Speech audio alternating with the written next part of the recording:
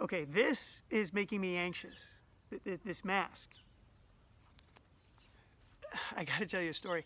So I'm, I'm walking through the grocery store and just getting groceries and all of a sudden I'm getting this anxiety and I'm, you know, of course, like seeing everybody else with masks and I'm wondering, is this the, you know, the virus, the fear, and I'm getting anxious and it's actually getting kind of unbearable.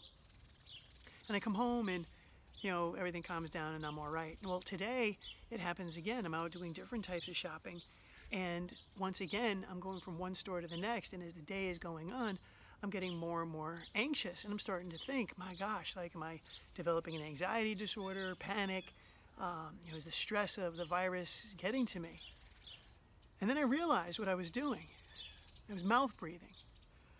When we wear a mask, you know, it, it, it's harder to breathe. There, it's harder to breathe. There's a restriction. So I found myself breathing like that minute after minute, hour after hour. And what that does when we breathe through our mouth like that, it activates our sympathetic nervous system. Our fight or flight response gets up. Our heart rate increases, our breathing is going short and shallow and in the chest, and it creates anxiety. And so then my head follows that my body is getting excited and feeling anxious, so my head starts to think the anxious thoughts.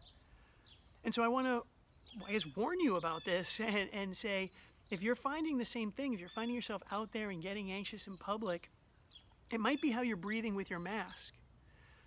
What you want to be able to do is take in slow, deep breaths through your nose, nasal breathing.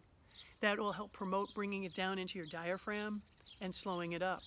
You can either breathe in slowly for six and out for six, or if you breathe in slowly and then slowly out through your mouth.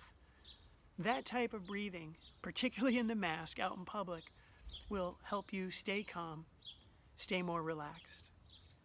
The other benefit of breathing through your nose as opposed to your mouth is because when you breathe through your nose, there's the creation of nitric oxide, which plays a vital role in your immunity, destroying viruses and parasitic organisms, and even now it's being tested for the treatment of COVID-19. So during this time, yeah, please. Keep wearing your masks, stay six feet apart, but really be aware of how you're breathing.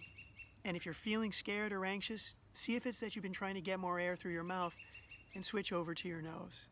I hope this helps. Stay safe.